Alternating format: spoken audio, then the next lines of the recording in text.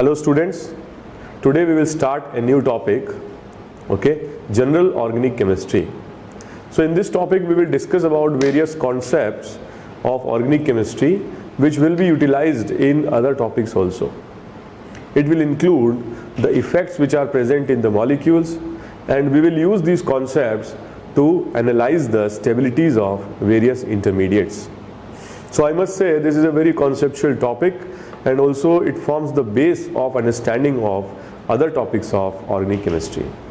Apart from that we will also focus on the concept of acid strength and base strength okay. So let's start with this topic general organic chemistry also known as GOC.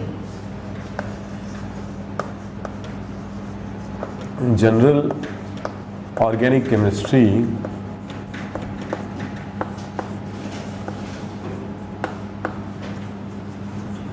GOC. So general organic chemistry is a concept or basically we have defined it a topic as a topic we are studying this and we will divide this topic in two parts. First part which we will start in today's lecture will be electronic displacement effect.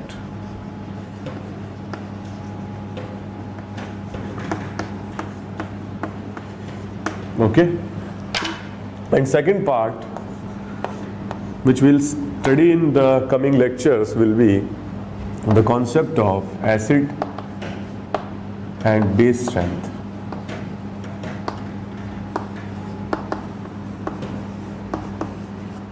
Okay. So first we will start with electronic displacement effect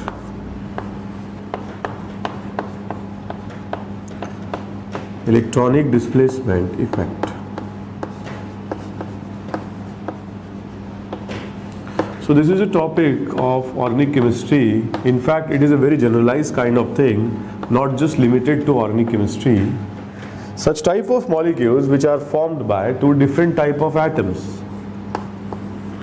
So in HCl molecule, there is electron sharing between hydrogen and chlorine and the two shared electrons remain in the in between the nucleus of these two atoms.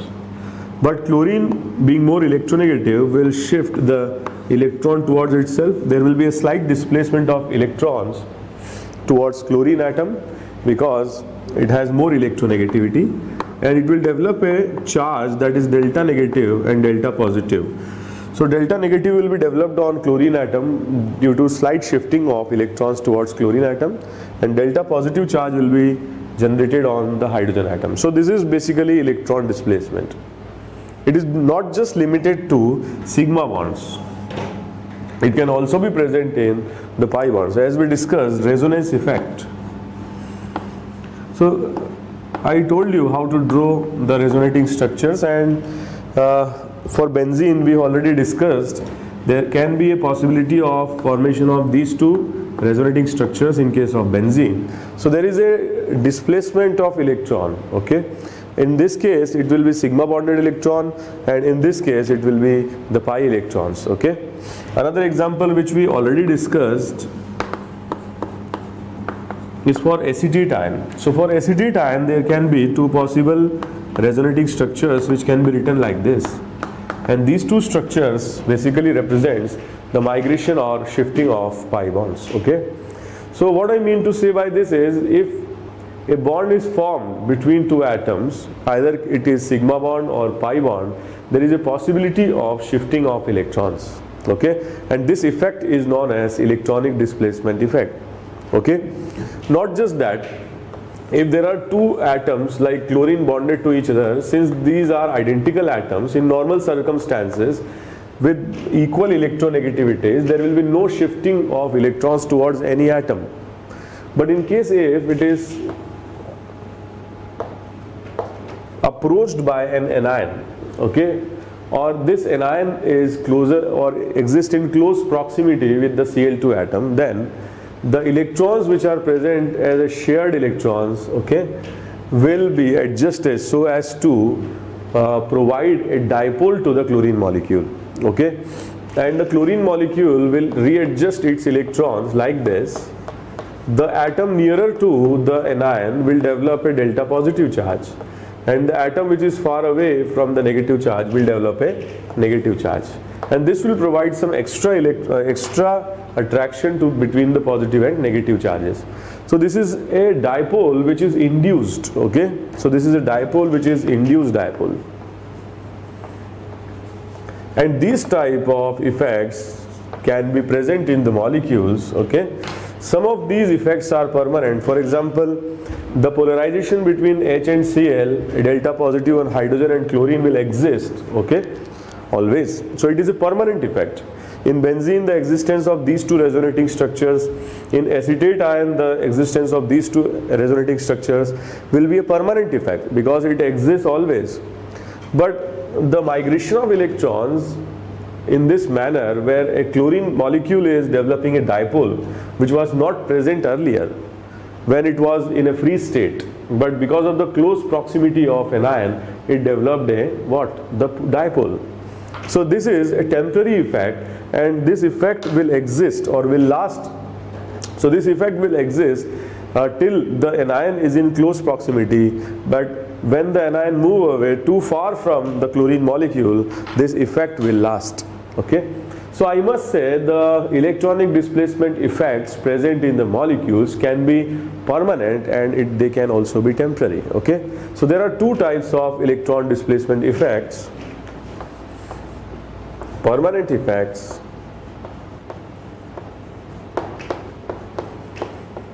and temporary effects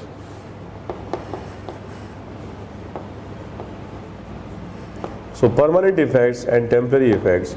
Permanent effects are those effects which remain in the molecule till its existence. Okay? For example, in this case, they will remain in the molecule till the molecule exists.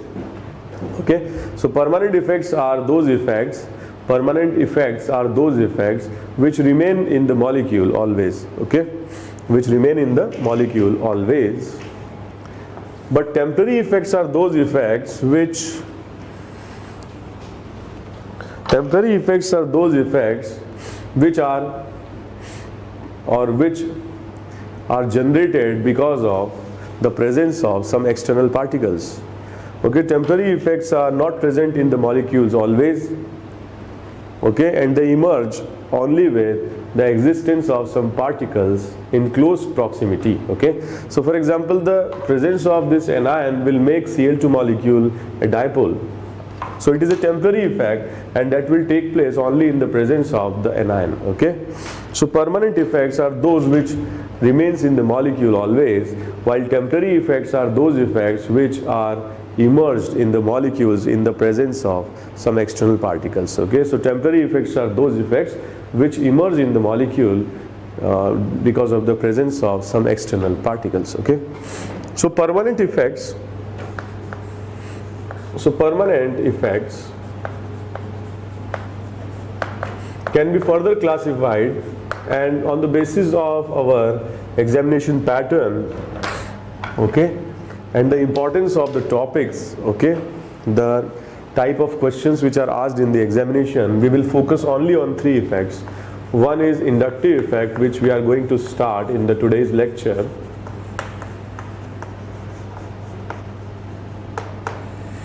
And the second effect is resonance effect.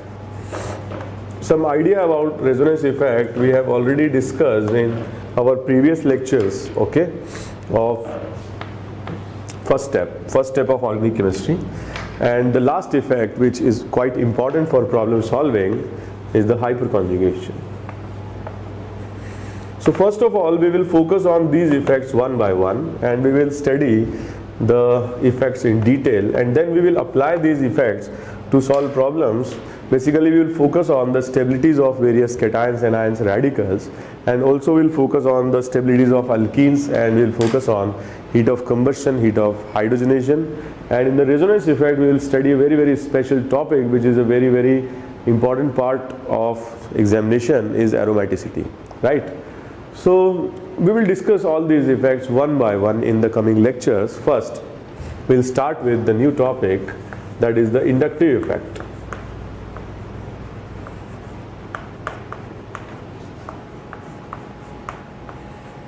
also known as I effect. So inductive effect as I told you it is a permanent effect okay? And it represents the permanent polarization. It represents it represents permanent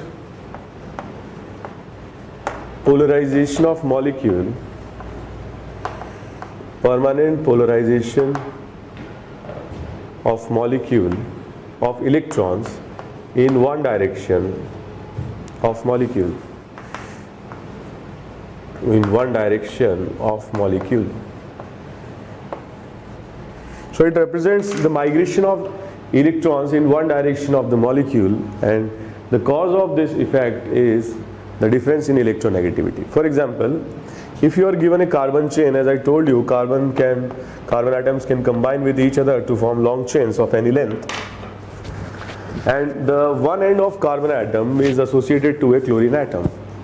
So being more electronegative, it will the chlorine atom will migrate the sigma bonded electrons between carbon and chlorine towards itself and it will develop a partial negative charge.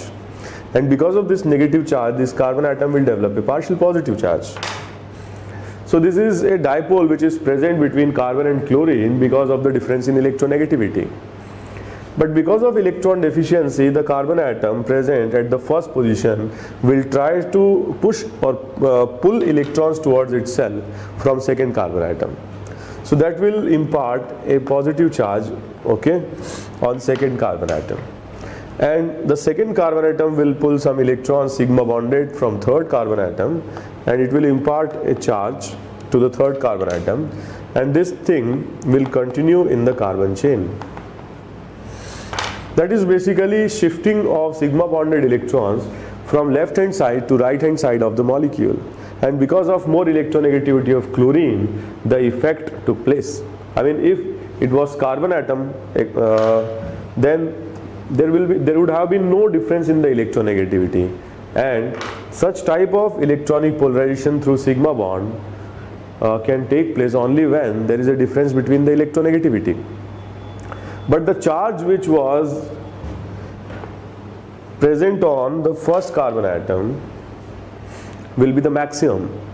And the second carbon atom will induce less charge okay and the charge for fourth fifth and sixth and other positions will reduce.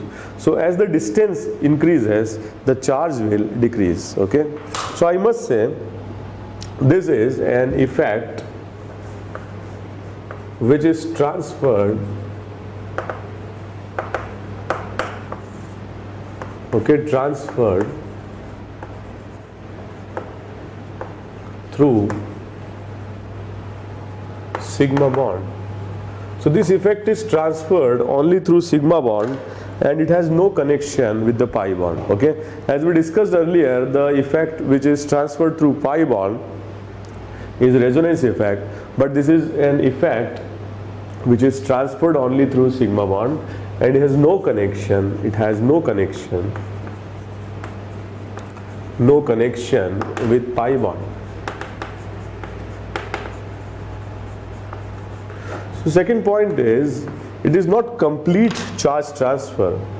The first atom develops maximum positive charge and as the distance increases the magnitude of positive charge will decrease okay? So i can say it is partial charge transfer. It is partial charge transfer.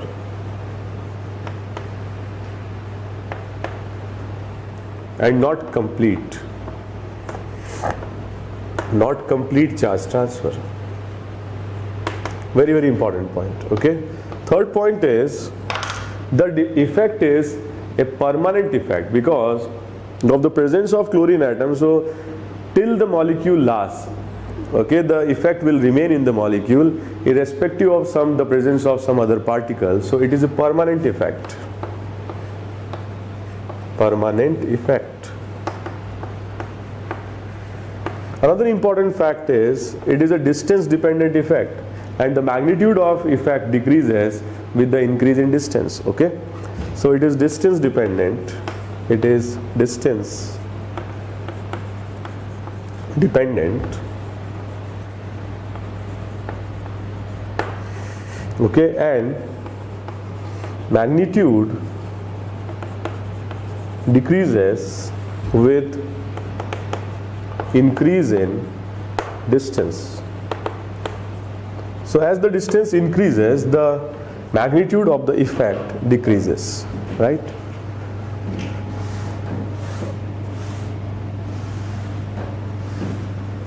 Okay, another important point is the molecule was initially in the neutral state, so it will remain in neutral state.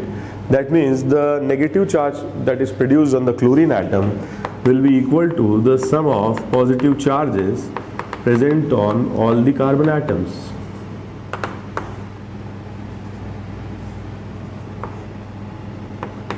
Okay? Please copy.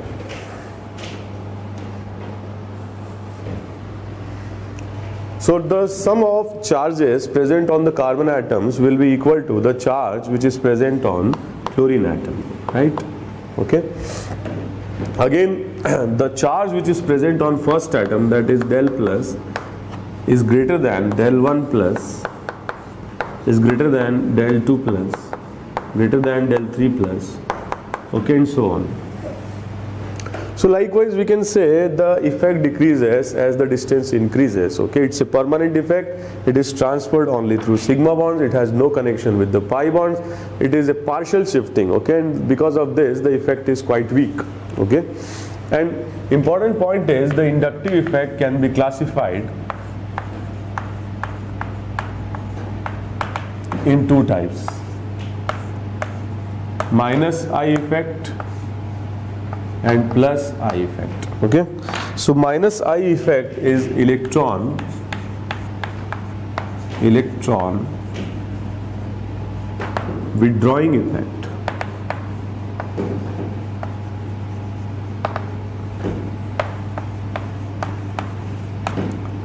okay so this particular example is the example of association of a chlorine atom to the main chain